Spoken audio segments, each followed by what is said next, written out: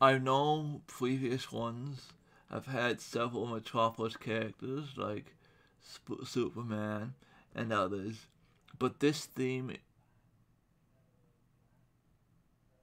Metropolis. Because everyone in here relates to Metropolis some way. Even people I have no idea about, like Knockout here. But if she's in Metropolis, she has to fight Metropolis heroes, which aren't many besides the Super Family. Least I'm assuming Knockout is from DC. Uh, I know she's from DC. Of course, she's from DC. She has a V here for villain. But uh, I'm assuming that she is from Metropolis because she's a Superboy villain. If she's not from Metropolis, well, then I messed up, and this should be Thawne.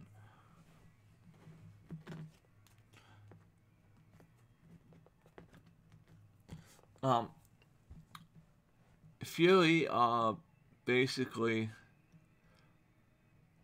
um, Doomsday, not Doomsday, Darkseid.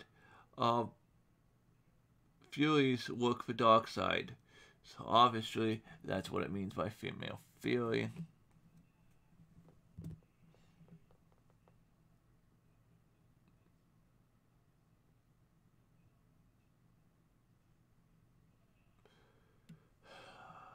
I guess they're leading into the trope that redheads have hot tempers with knockout here.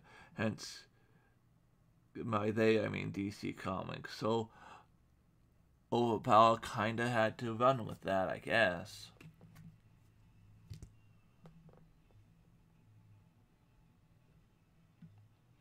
I wonder what her civilian identity is. Because that is quite a unique build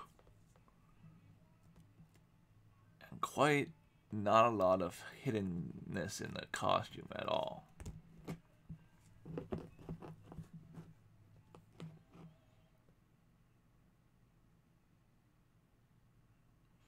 Hazard, from what I can tell,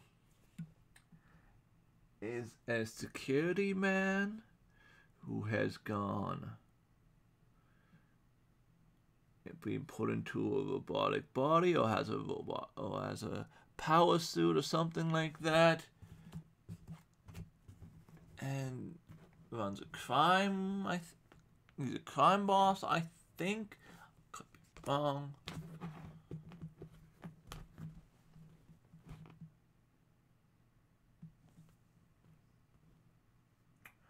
It makes sense if you can fly, you can avoid get having a tree thrown at you.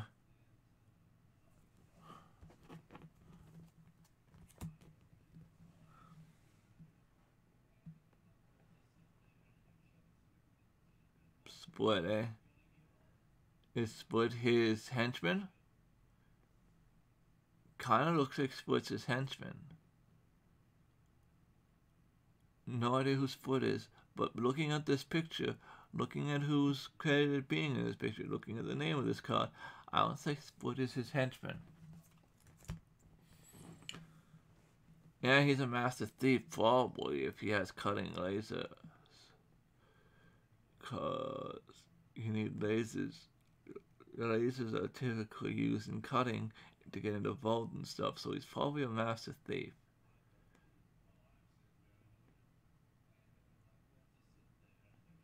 So if you either block the four or take six, that's uh, that's annoying.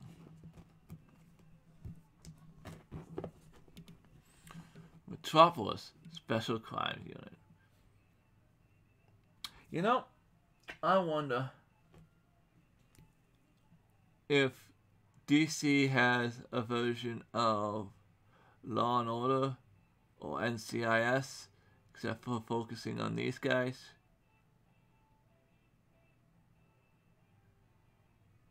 Very interesting that they had the front character be a woman. The cat, one of the two visible, out of three characters, you have a woman, a black guy, and a white guy. And the one in the very front is a woman. Very interesting choice, Overpower. Very interesting choice.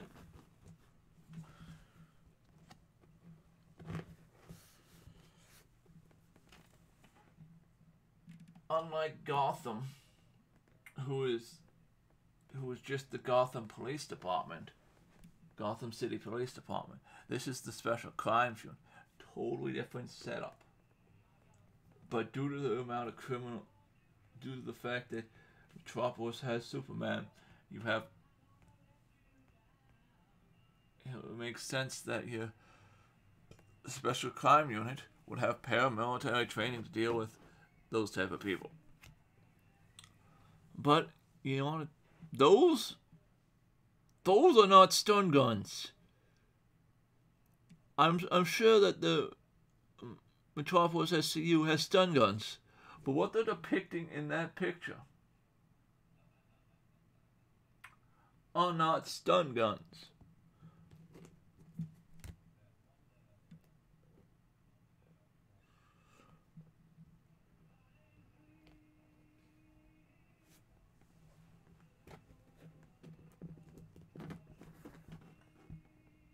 Makes sense that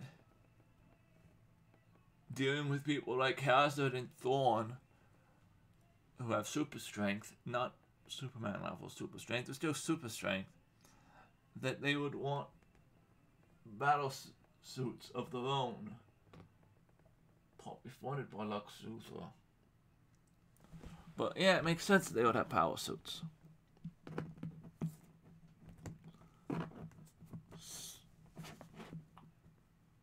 So, I usually just talk about the characters, but this brings up something interesting. I know when oh, when Marvel when over this brings up something interesting I know about the Overpower card game that I'm going to talk about for a moment here. When Overpower went to DC, they didn't have as much leniency as they did with Marvel. One of the things that came forward is that Lex had to have eight intelligence. Certain characters had to have certain stats, and they had they had to pick who had the eight intelligence. So the only character in the first Overpower set with that got eight intelligence when intelligence was introduced in DC is Lex Luthor. Lex Luthor is the smartest man on earth. I all.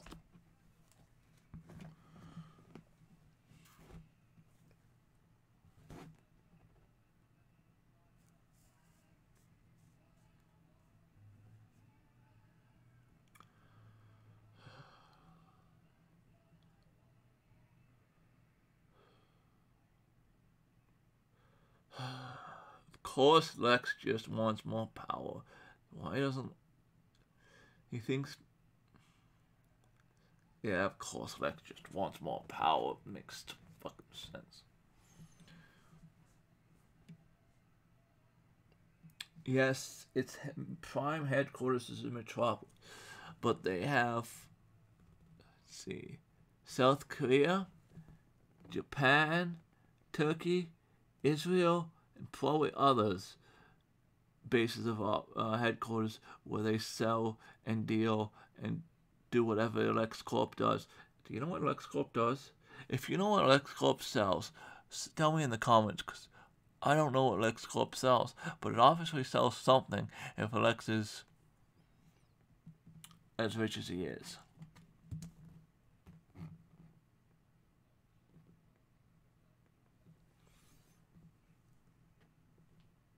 And Lex takes pride in his physical. He's no slouch when it comes to the physical. Sure, he isn't as good as people who've dedicated their entire life to fighting, like Batman. He has a business to run. Of course, he's not going to be that good at fighting. But he's no slouch in the fighting department either. He is as this card says, a skilled martial artist. And that was my DC a, a Metropolis over Power Cards. I don't know why I said DC Metropolis. Metropolis, of course, is in DC. Where else would Metropolis be? Image? That's a laugh. Oh, Image over Power Cards. I don't currently have any. But that's a topic for another day. I hope you enjoyed. See you in the next video.